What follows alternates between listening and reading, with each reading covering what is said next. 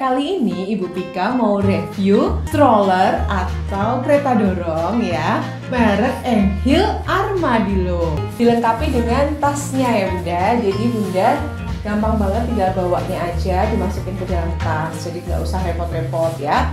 Kita tinggal angkat angkat aja ya yang bagiannya ini. Jadi ini kan ada yang gini, ada yang di sininya. Nah, kita buka aja seperti ini langsung dia akan terbuka.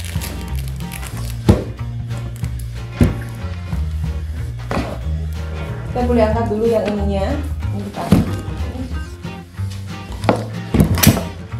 nah seperti ini ya. Ini kalau di meja tidak nah memang seperti ini. Oke. Setelah dikaitkan seperti ini baru masukkan ke dalam sabuknya yang ini ya penguncinya.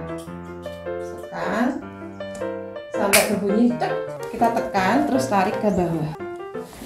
Nah seperti ini